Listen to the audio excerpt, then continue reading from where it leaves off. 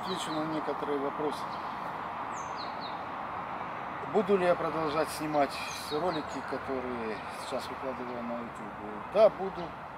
И с прошлого года еще отснятое видео не все выложено. И сейчас продолжаем снимать. Тем более в телефонном разговоре с Алексеем Алексеевичем Кадочниковым я получил добро на это дело. Алексей Алексеевич сказал, э, снимаешь и продолжай снимать, делаешь и продолжай делать. Поэтому будет, пока еще. Вот. э, Можно ли научиться по видео? Нет, по видео научиться нельзя. Видео это как э, подспорье обучения. То есть к любому учебнику должен быть прикреплен инструктор.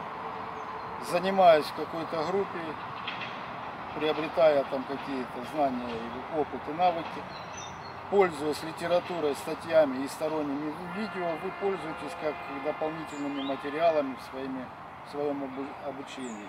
Меня сейчас немножко радует то, что некоторые инструктора в разговоре со мной говорят, что некоторые моменты, те, которые дают я, они взяли у себя на вооружение будут применять в своих группах.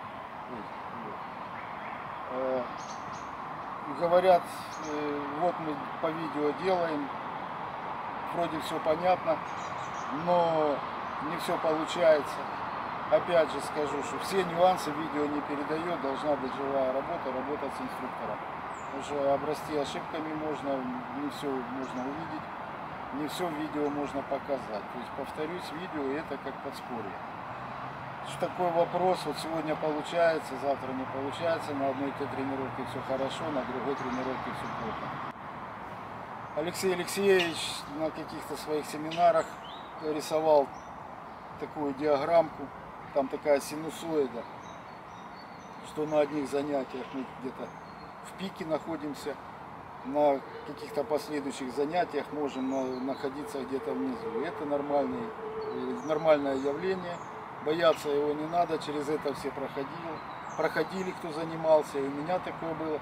С одной тренировки идешь, душа поет и радуется, все получается. С другой, на другую тренировку приходишь, как будто с нуля все начал. Вот. Я это называю в своей группе синусоида, потому что на графике оно в виде синусу, ломаной синусоиды и показано. Это нормально. Э, В каком возрасте можно заниматься, начинать заниматься, продолжать заниматься системой Кадочникова? На это тоже есть ответ самого Алексея Алексеевича Кадочникова. Он говорит, заниматься можно в любом возрасте, при любом состоянии здоровья. Единственное, я, наверное, все-таки детям рановато. Взрослые не всегда все понимают, объяснить ребенку, донести эту механику.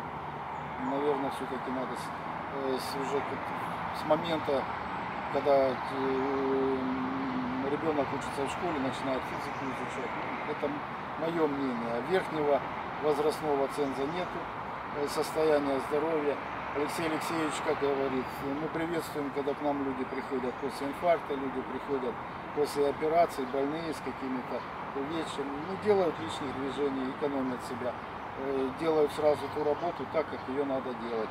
От себя скажу, что я занимался с ребятами, э, занимался с человеком, у которого не было э, руки по локоть.